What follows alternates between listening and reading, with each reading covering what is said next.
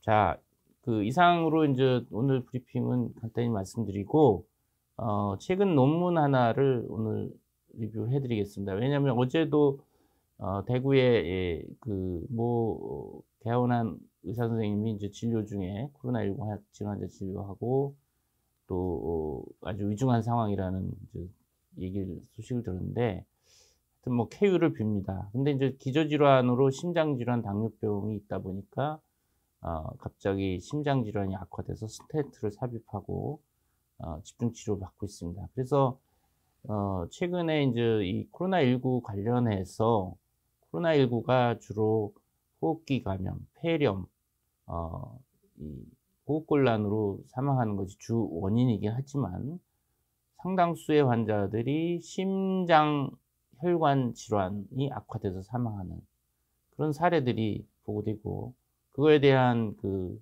연구들이 이제 조금씩 발표가 되고 있습니다. 뭐 이미 중국에서도 어, 기저질환 환자 사망률이 높았는데 뭐 전체 평균 2.3%인데 이 심혈관 어, 심장질환 환자들은 치사율이 10%를 상회해서 한 5배 정도 더 높은 4, 5배가 높은 기저질환을 심혈관 질환을 갖고 있는 분들 심혈관 질환이라는 건 협심증, 뭐 심근경색증 아, 이런 환자들이겠죠. 이런 환자들이 코로나19에 걸렸을 때 어, 심혈관 질환이 악화돼서 특히 심장 근육 손상으로 해서 사망하는 케이스들이 높습니다. 그래서 이런 연구에 대한 어, 논문이 하나 이제 자마 그 미국 의학협회 잡지죠 카디올로지에 실린 논문이 있어서 음, 그것을 한번 그 간단히 어, 요약해 드리겠습니다. 그래서 이 논문은 어, 중국 후베이성의 우한시 어, 제7병원에서 1월 23일부터 2월 23일, 그러니까 락다운 우한시 그, 어, 완전히 그 봉쇄하기 전까지의 이제 코로나19 환자에서 어, 그 코로나19 환자 사망에 있어서 심혈관 질환과 심근 손상의 연관성 연구입니다.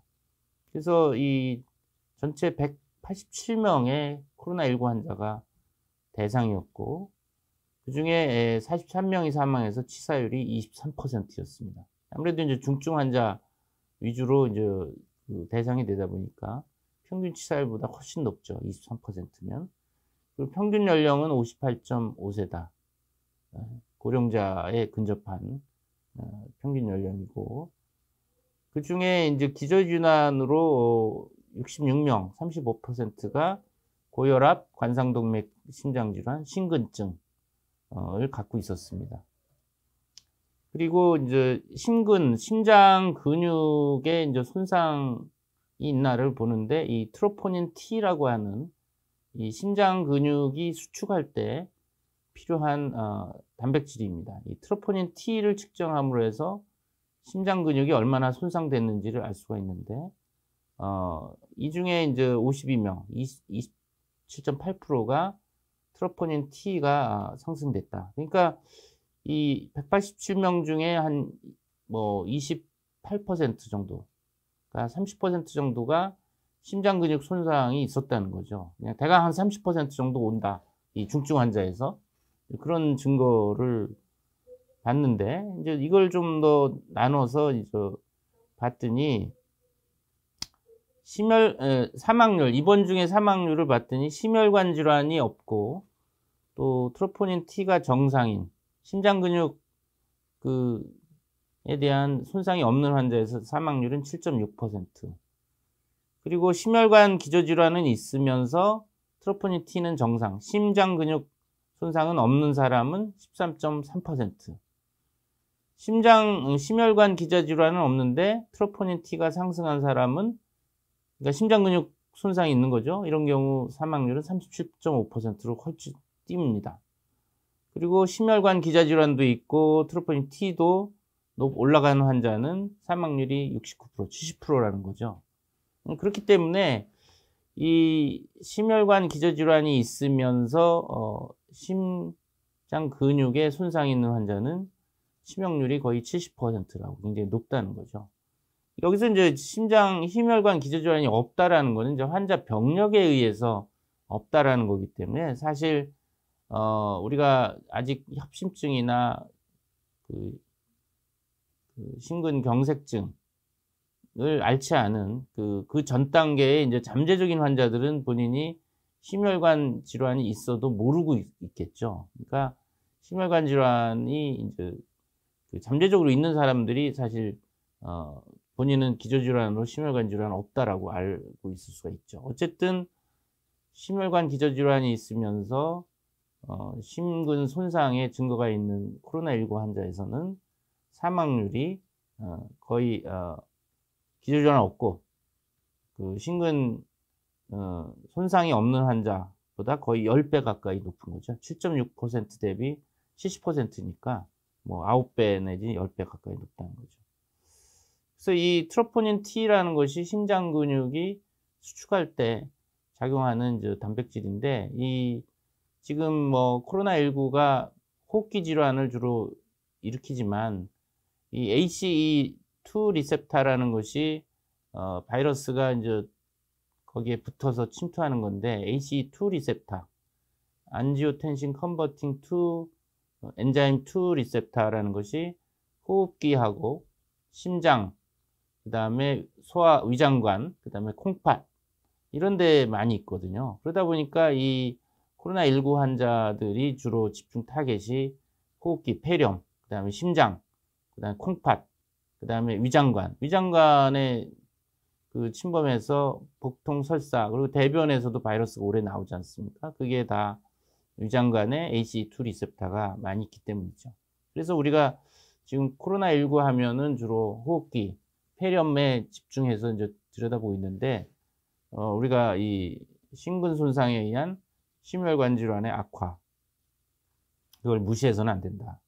그래서 이 연구에서 이제 이 트로포닌 T가 올라가는 환자들을 봤더니, 에, 악성 부정맥, 아리드미아죠. 이 잘 통제가 안 되는 부정맥, 그다음에 인공호흡기를 하는 경우가 많고 또 그러다 보니까 중증으로 가다 보니까 스테로이드 투여하는 경우가 많았다. 아, 이런 걸 관찰하면서 이 코로나19 환자에서 심근 손상은 사망 연관성이 높다. 음, 그런 결론을 내렸습니다.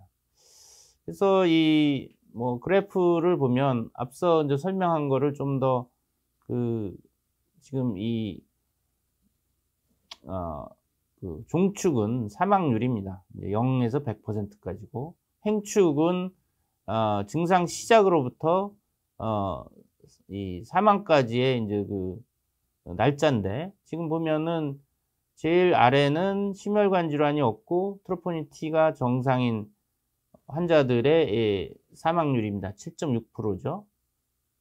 바로 위가 심혈관 질환이 있지만 트로포닌 T는 심근 손상이 없는 경우 13.3%. 그다음에 심혈관 기저 질환은 없지만 트로포닌 T가 올라가서 심근 손상이 있는 경우 37.5%. 그 제일 위에는 어, 심혈관 기저 질환도 있고 트로포닌 T가 상승된 심근 손상이 있는 경우는 어, 69% 상당히 높은 거죠. 그래서 어, 이 그래프가 단적으로 어, 심혈관 기저질환도 있고 코로나19 감염됐을 때 트로포닌 T가 올라가면 어, 치사율이 높다. 그래서 환자 이제 치료 중에 이 트로포닌 T를 모니터하면서 심근 손상이 얼마나 있나 그런 거를 모니터를 하게 됩니다. 이것도 마찬가지입니다. 이 보면은 예, 종축은 혈장 내의 트로포닌 T 농도입니다. 나노그램 퍼 ml이고 행축은 왼쪽에 있는 바는 사망자, 오른쪽에는 어, 회복한 어, 생존한 환자의 이, 그, 트로포닌 T 수치죠. 그 왼쪽을 보시면 사망자에서 제일 먼저는 이제 입원 당시에 측정한 트로포닌 T입니다. 굉장히 낮죠? 중간은 입원하고 나서 트로포닌 T를 측정했더니, 어, 상승했죠. 그리고, 어, 제일 오른쪽은 이제 사망 에 임박했을 때 트로포닌 T 측정입니다. 이거 더 올라갔습니다. 이게 이제 다 통계적으로 유의할 정도로 올라가 있는데 반면에 오른쪽에 이제 어, 완치한 회복한 사람들은 트로포니티가 상당히 낮죠. 그래서 어, 이 경우는 뭐 입원이나 입원 중이거나 이제 퇴원을 앞두고서 다 트로포니티는 어, 매우 낮아서 어, 심근 손상이 없었다. 그런 경우는 어, 회복할 가능성이 높다라는 걸 우리가 알 수가 있죠.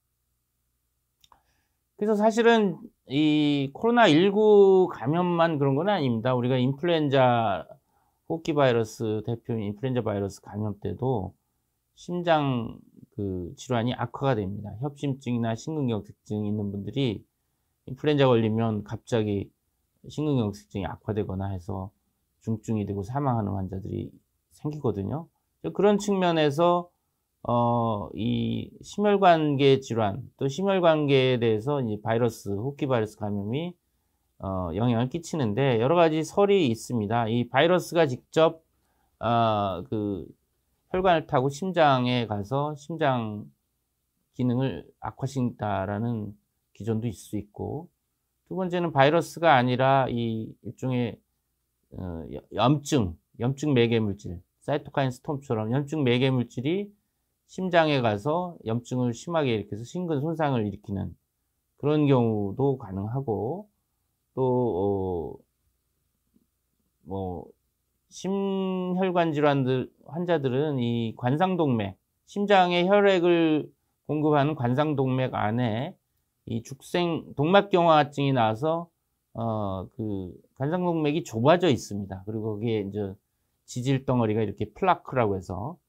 그 콜레스테롤 덩어리가 이렇게 막고 있는데 지금 이 코로나19 같은 경우도 이제 감염이 되면 그 콜레스테롤 덩어리가 어, 터져가지고 그게 이제 그 관상동맥 끝에 가서 이제 막으니까 이제 혈액이 안 가서 심장이 그 썩게 되는 그러니까 심근경색이 오는 그런 기전도 있고 또는 어 심장에 이제 심전도에서 우리가 이제 심 어, 심장이 제대로 맥박을 뛰나를 보는데 부정맥을 일으켜서 또 심장을 악화시키는 그런 어, 원인도 있는 것으로 여러 가지 저, 기전이 이제 제시가 되고 있는데 어쨌든 어, 지금 사망자가 늘고 있고 그 중에 심혈관 질환을 갖고 있는 분들이 위험한데 이, 이 논문은 이제 그걸 좀더 어, 연구를 통해서 입증을 했고 우리가 생각했던 것보다 코로나19 환자에서 그 심혈관 질환 환자들은 더 중증이다. 트로포닌 T 측정을 통해서 심근 손상을 우리가 좀 더 모니터 할 수 있고 그 예후를 우리가 짐작해 볼 수 있고 또 얼마나 또 심, 심장 어, 혈관 치료를 적극적으로 하느냐. 뭐 어제 그 기사에 의하면 그 어제 의사분도 그 심장에 이제 문제가 생겨서 긴급하게 스텐트를 넣어서 관상동맥에 아마 문제가 생겼던 것 같습니다. 스텐트를 넣어서 심장에 혈액을 공급하는 치료를 했다고 합니다. 예, 그런 어, 것을 보면 이 그, 심혈관 질환, 특히 관상동맥 질환 환자들은 코로나19에 대해서 더 예방에 철저히 해야 된다. 그러니까 심혈관 질환 있는 분들도 집에 좀 계시거나 다중이 많이 모이는데 피하시고 외출하신다면 반드시 마스크 쓰시고 주의를 더 극도로 해야 된다. 그런 메시지를 어,